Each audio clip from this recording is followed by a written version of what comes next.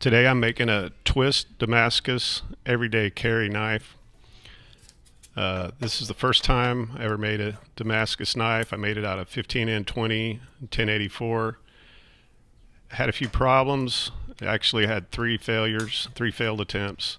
Finally, uh, on the fourth attempt, uh, you'll see it later in the video, I was able to get the billet forge welded together and make the knife.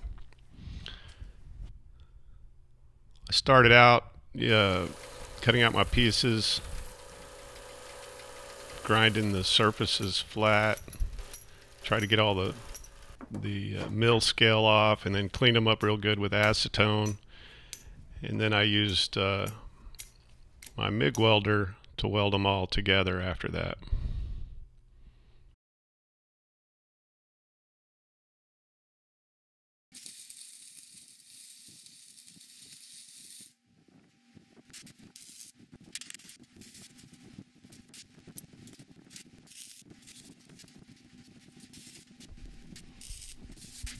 I just ran welds right on the corners of the billet. Uh, this first attempt was all 1 16th inch uh, thick steel, which turned out to be too thin on the outer edges anyway. Um, but I welded up a piece of rebar for my handle, soaked it in kerosene, and put some borax flux on the billet, put it in the forge, let it heat up to forge weld temp.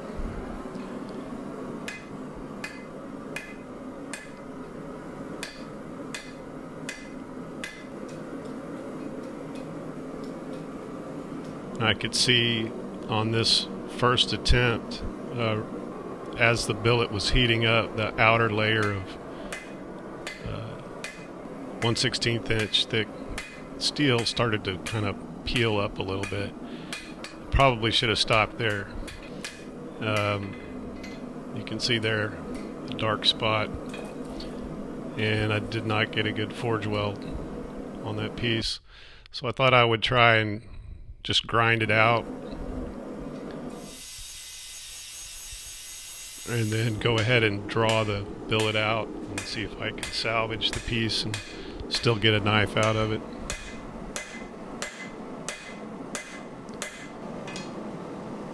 And as it turned out, there were uh, more issues with this billet. Once I had it drawn out, I could see it was starting to delaminate. You can see there. Uh, I went ahead and cut that piece in half, that uh, just to see what was going on on the inside, and it was obviously not going to work.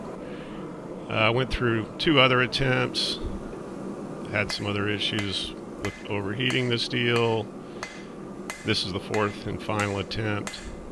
I think I got it figured out. I used uh, thicker uh, pieces for my billet.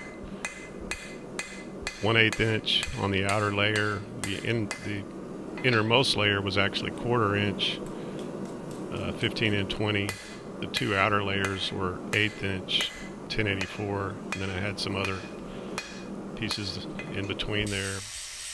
Um, it's only about seven layers. There I was hitting the billet on an angle to see if I had a good forge weld. I decided to just stop and grind it out along the edge and get the weld off just to check it and make sure I had a good forge weld and it looked good. So I went ahead and drew the billet out once I had it drawn out uh, about five inches or so, I knocked back the corners, made it more of a round shape so that when I twisted it, I wouldn't have uh, those cold shuts along the outer edge, or at least not as many. So I had it all ready to to twist. I just wanted to check. Uh, make sure I had my vise at about the right position, make sure I had my pipe wrench at about the right position so that when I pulled it out uh, to twist it, I could not waste too much time.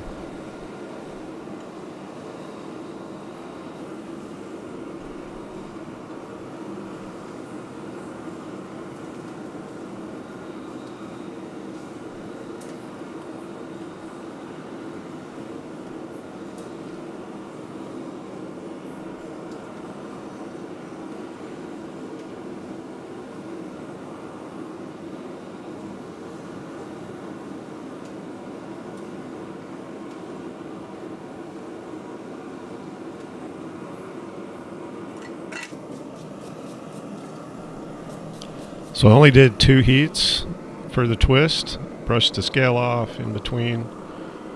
Uh, probably two or three complete 360 twists uh, for each heat.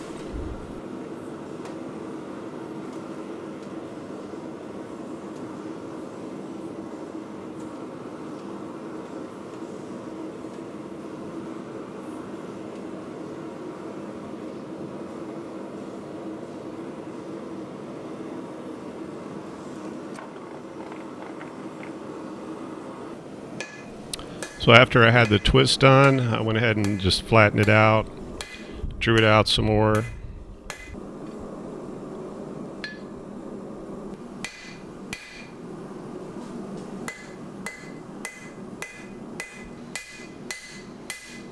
Once I had it drawn out more, uh, got took it over to the uh, angle grinder, tried to clean up those edges, and then I wanted to do a the test etch just to see if I could see any of the pattern. Uh, right now it's probably quarter inch thick. Uh, I'd say it's about nine inches long. Uh, so I need to get another inch and a half or so of length and at least another half inch of width on it. Then I can cut my knife pattern out. But so far this one is looking good. You can see here some of the weld from the handle. You can see the different color of that weld on the handle there. So I went ahead and drew it out a little bit more, tried to get it all straightened up.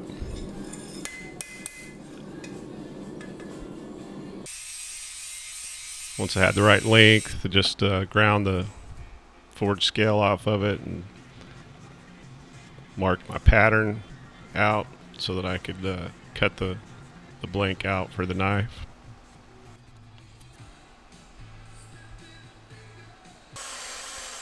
Most of it I cut out on the little portable bandsaw that I built. And from there I took it over to the angle grinder, cleaned up the, the edges and got the, most of the profiling done.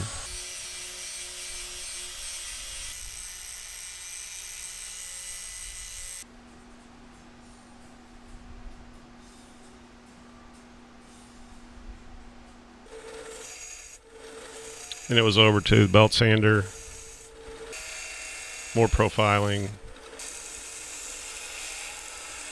Try to reduce some of the thickness. It was was fairly thick at that point, probably uh, six or seven millimeters, I think. So it was pretty thick.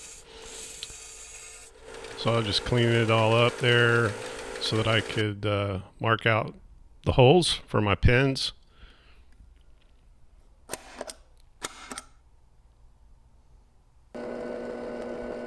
Got those marked out. Used a 1 16th inch drill bit for my pilot hole.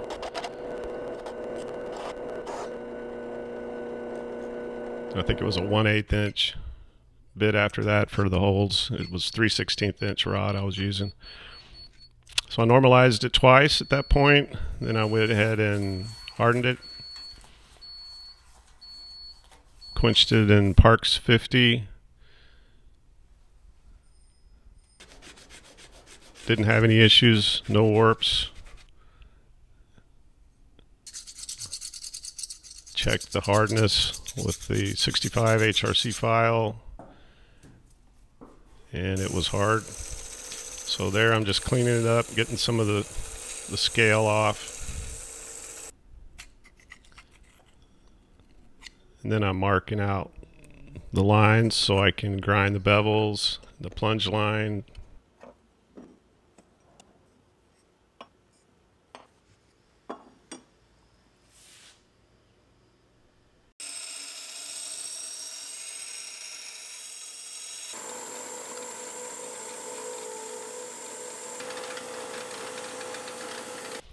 Once I had the bevels ground, I hand sanded up to 600 grit.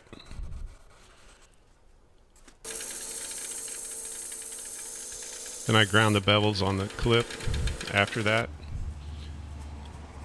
And just tried to clean those up with again up to 600 grit sandpaper. Once I had that done, I etched it, ferric chloride and water, three to one, three parts water to one part ferric chloride. And I ended up doing about six etches, anywhere from one to five minutes each. And I sanded the oxides off in between.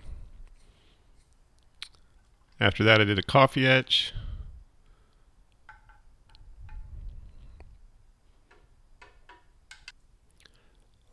Probably slightly over etched the knife. Uh, you can actually feel along the blade the, the edges of the 15N20 just barely. So probably could have etched it one or two times less than what I did. So had that all done and I'm trying to get the the surface finished uh, with just some sandpaper and a file that's 2500 grit sandpaper that I was using there just to try and get the highlights done on the polished up on it. So I had the knife pretty much this the the blade all done. It was time to go work on the handle. Had a piece of maple uh, a maple block that I used, marked it out. And then I went ahead and just drilled the holes, cut out the shape of the handle,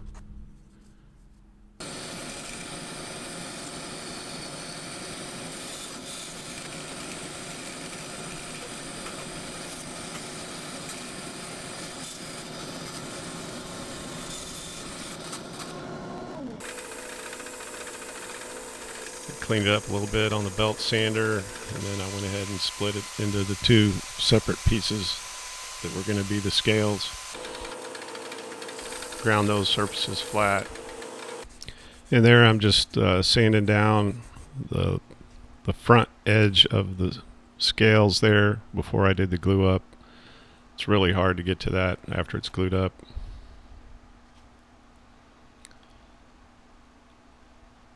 I had that all done and it was time to get it all glued together. Used 24 hour epoxy. Got it all fitted up, put together, clamped up. Cleaned uh, most of the epoxy off, all that I could, with uh, some WD-40 and Q-tips.